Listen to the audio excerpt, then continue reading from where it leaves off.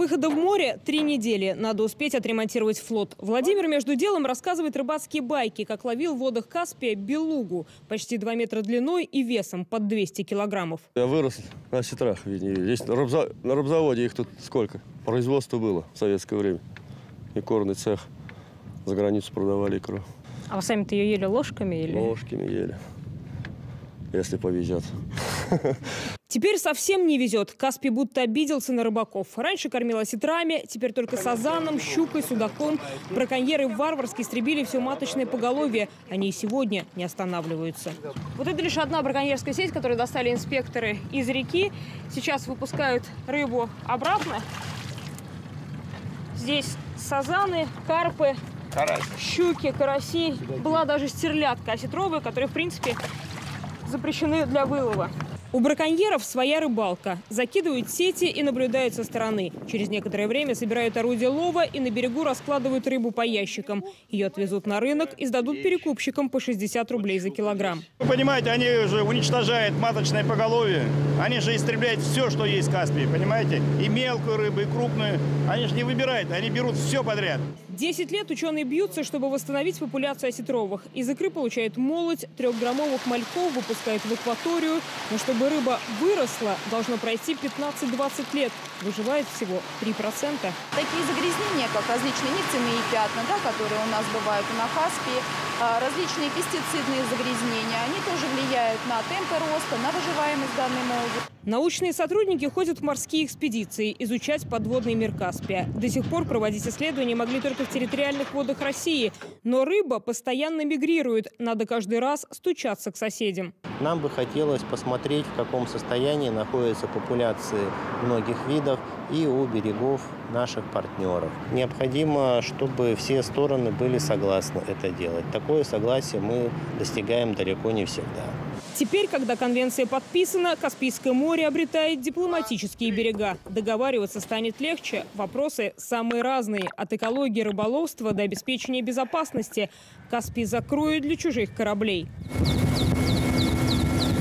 У России здесь своя Каспийская флотилия. В настоящее время ее перебазируют из Астрахани в Дагестан. На этой неделе там побывал министр обороны Сергей Шойгу. Визит рабочие предполагает усиление морской группировки в регионе. В Каспийске уже началось строительство современной базы ВМФ. Боевое дежурство над акваторией моря несут истребители МиГ-31 с гиперзвуковыми ракетами «Кинжал».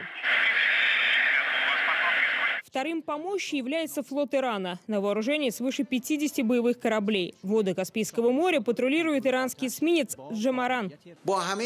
США и НАТО задумывали развернуть свое присутствие на берегах Каспийского моря и разместить там свои вооруженные силы. Но по этому соглашению размещение военных баз и присутствие иностранных судов в Каспийском море запрещено. Было решено, что любой корабль, желающий плыть по морю, должен делать это под флагом одного из пяти прибрежных государств. Все иранские телеканалы на этой неделе обсуждают конвенцию по Каспию. В Иранском министерстве иностранных дел заявили, страны Прикаспийского региона провели встречу в абсолютно дружеской обстановке. Иран был единственной страной, которая не соглашалась идти на уступки. Компромисс удалось достичь только сейчас, когда вновь обострились отношения с Вашингтоном. Мы открыто заверили иранский народ, что полностью соблюли и отстояли интересы страны, выйдя из двух важных пунктов, которые угрожали интересам Ирана. Оставшиеся пункты весьма выгодны. Иран под санкциями. Ограничения на экспорт нефти и газа, полная изоляция от мировой банковской системы, рост цен. Национальная валюта рухнула, предпринимателям нечем рассчитываться за товар. Так лишь в одном астраханском порту экспортного леса 18 тысяч кубометров. Его еще в мае должны были отправить по морю в Тегеран. Центробанк Ирана на сегодняшний день то есть, испытывает э, большое давление со стороны Америки. Доллар вообще запрещено, у них национальная валюта упала. Они могут оплачивать товар со стороны Ирана. Но судно под иранским флагом все-таки заходит в российский порт. Начинается отгрузка кукурузы. Так исторически сложилось, что Каспий – это центр караванных путей. На морском побережье в Туркменистане открывается новый современный порт, крупнейший логистический центр.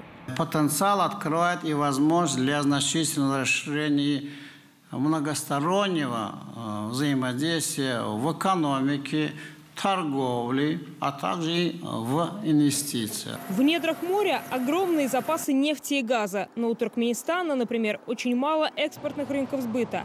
В настоящее время свой газ они экспортируют только в Китай. Здесь надеются, что конвенция откроет вентиль туркменскому газу.